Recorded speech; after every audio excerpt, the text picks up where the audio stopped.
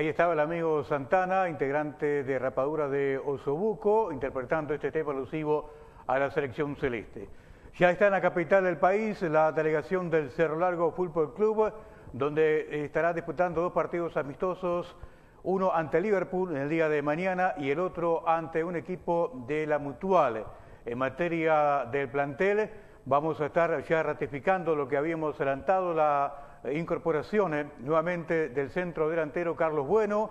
también la continuidad del zaguero Jefferson Quintana, un zaguero realmente con oficio, con carpeta, con experiencia, que ha sido fundamental en esta temporada, en este primer año del equipo de Cerro Largo y donde hoy se estaría incorporando también en Montevideo a la delegación arachana Emiliano Maquichen. Recuerdan aquel zaguero del equipo de Peñarol, también este, se estaría sumando a la oncena de Danielo Núñez. El 28 estarán viajando hacia Buenos Aires y ahí en el complejo del Club Boca estarán realizando la pretemporada, como así también algunos partidos amistosos y la incorporación eh, del otro zaguero de Heredia. Recuerden que aquel que en primera instancia iba a venir y después se fue para Godoy Cruz. Bueno, ahora sí, definitivamente se incorpora al equipo Arachana y el otro es el excelente delantero, una de las cartas fundamentales que ha tenido Cerro Largo en el torneo Apertura que ha sido Mauro Luna. Esas son las importantes novedades del equipo Arachán en materia de plantel,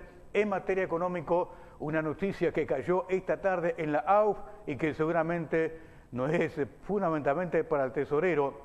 no va a ser de buen agrado, en virtud que la FIFA ha multado a todas las instituciones de Uruguay que realizaron el reclamo uh, al TAS. Recuerdan cuando la FIFA intervino, la AUF, bueno, debieron pagar para que la apelación. Bueno, y ahora la FIFA le multó a todos los clubes, incluido Cerro Largo, con 15 mil euros que deben pagar, creo que aproximadamente unos 500, 600 mil pesos uruguayos deberá pagar Cerro Largo eh, a la FIFA por ese reclamo al TAS.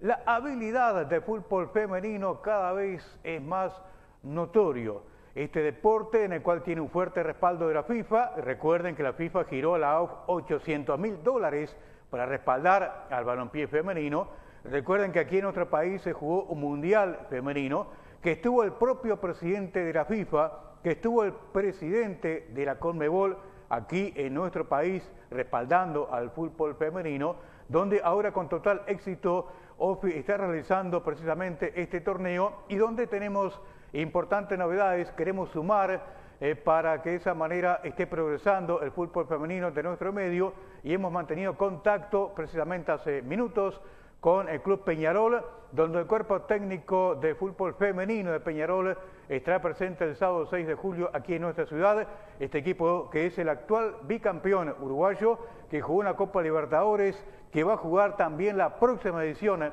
de la Copa Libertadores de la Conmebol de fútbol femenino para dictar una clínica donde los seis clubes de nuestro medio, conjuntamente con la liga, estarán compartiendo. Vamos ahora a disfrutar de que las chicas dominan muy bien también el esférico.